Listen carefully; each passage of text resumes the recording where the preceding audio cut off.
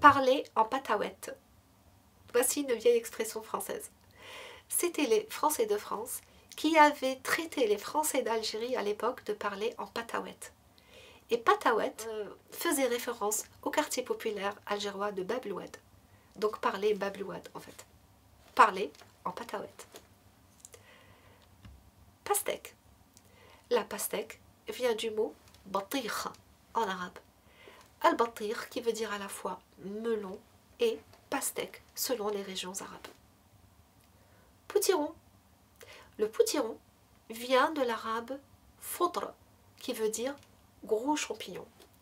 Car le potiron au Moyen Âge en France indiquait un gros champignon. C'est encore le cas dans certaines régions de France.